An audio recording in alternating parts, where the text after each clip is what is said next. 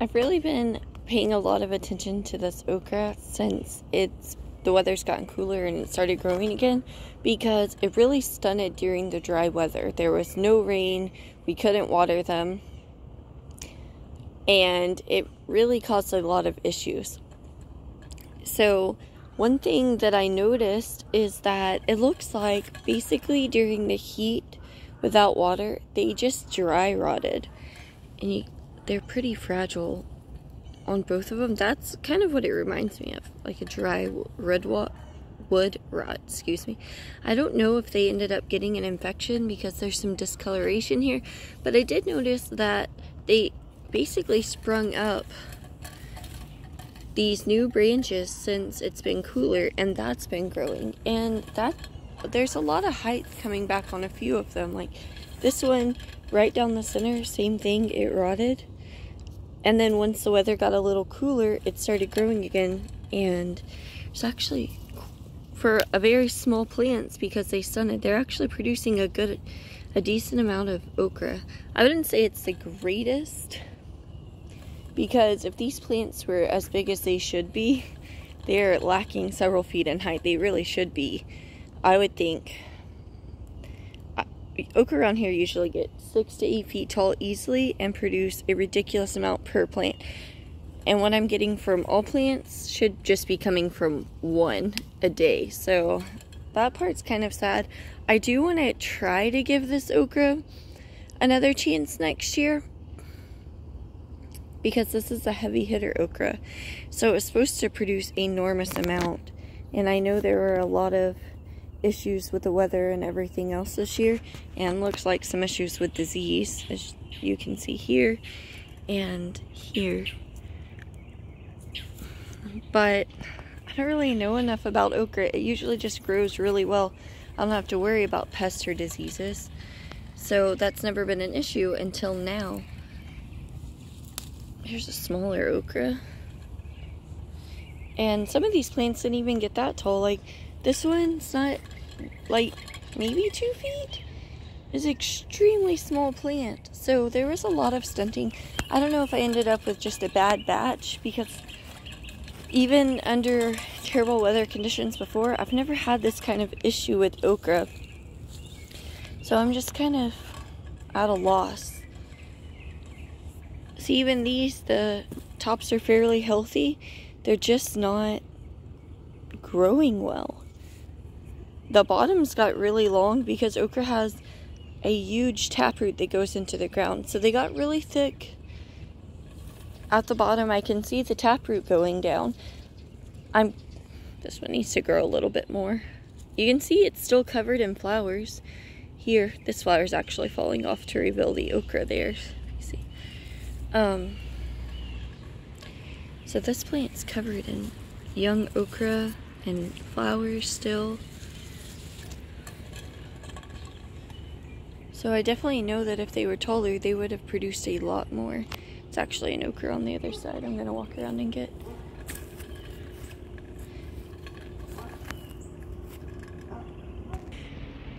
I had to pause for a second because somebody was fixing something in their truck on the road and my basset hound went crazy. He just, he loves barking even when there are no strangers, but especially when there are people near the yard. If you hear clinging, even though it's finally in the high 60s, I'm still drinking iced coffee because that's just what I, what I do. It turns out I put so much creamer into coffee that I just need to drink it cold instead of hot most of the time. So in between this okra, I planted this plant just because I found a random tiny basil in between all my plants in the other garden. And at that point, I only had one or two leaves. And it's actually growing a little bit. I might trim it back. I might, actually, let me go ahead and pinch the flowers off. And I got some leaves. I'll set it here because I'll actually use this, the flowers too, for seasoning. And looks like some of these aren't so great, so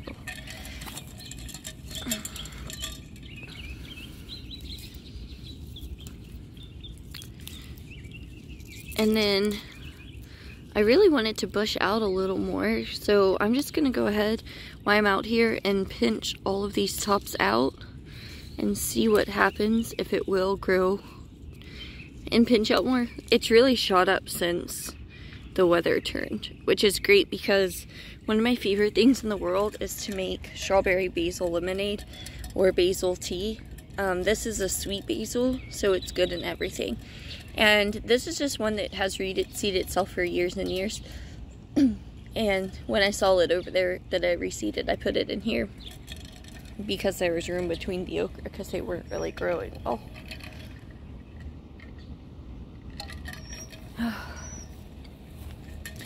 I'm fighting the urge to cough a little bit because all of this change in weather brings a change in allergies. I'm definitely feeling it today. So here's another pretty good size okra down here. It's pretty much the perfect size I like them at. But it just amazes me how small these plants are. And they're still producing. That's why I haven't pulled them out because I don't have anything to put the, in their place just yet. I have my seed trays and lights and starter soil. So I really need to start kale and lettuce for the fall months because the weather's finally cool enough to do that. Um, this one's pretty good size. I'm actually amazed. It's shot up in height several inches. So you can see this one doesn't look like it has any wood rot. It just stunted and now it's growing up again. Okra, because it'll continue to grow until you have a freeze or it just gets way too cold, will probably continue to grow through the rest of this month and depending on the weather in November, maybe through that. But I have had plants here where we didn't get a freeze until January and they will just grow all year round. Um, I made a video and posted it a couple years ago where I was growing green beans in December. It was 86 degrees outside. So the weather can be quite unpredictable here, which makes it challenging if you're just learning to grow in and around the Houston area, trying to figure out what to grow because it doesn't always make sense. This one's actually kind of big. There are actually quite a few growing on this plant and several flowers.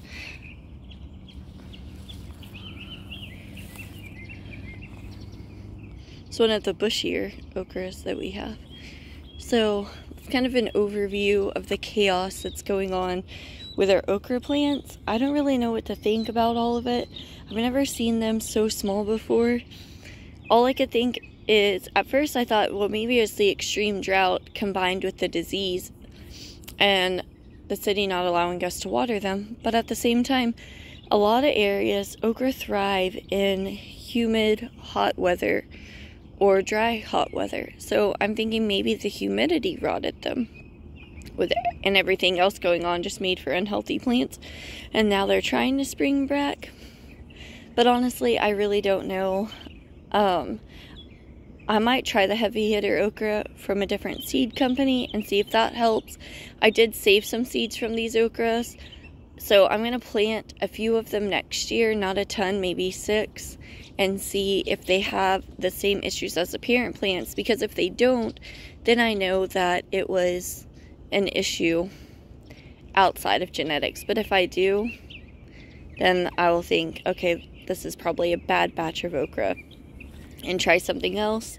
I've always had such good luck with the regular Clemson spineless, and the heavy hitter okra were taken from Clemson spineless and perfected to grow a ton of okra, which I have not experienced. So I'm pretty disappointed, but I do have really good seeds from the Clemson spineless that did incredible two years ago. And I'm going to try planting those next year early and get them established as soon as the weather is warm enough. I may even do transplants, which I know okra doesn't necessarily transplant well, but I've gotten pretty good at it. These I direct seeded and it did not turn out so great. And then actually over here in my blackberry plant, I have one very random okra plant in all of this. And it actually has like very sad gnarled okra on it. But sometimes the okra get like this, they're a little hard, but usually that hasn't been the case. You can see it's just randomly in here. This is the only thing that's survived by the blackberries, which is crazy. So, so far I can say that my experience with this okra has not been great. Um, I think I may have got the seeds from Baker's Creek. Pretty sure that's where I got them because I remember the colorful seed packet. I'll have to go back in my previous videos and look.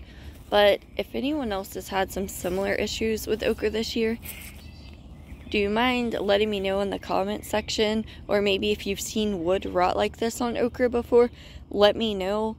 Um, if there's some kind of pest pressure or disease that I'm not aware of that's happening and you've seen it before, I'd love to know about it because I really was hopeful with this okra, hoping that it would do well. I'm actually quite disappointed that it didn't do as well as I expected.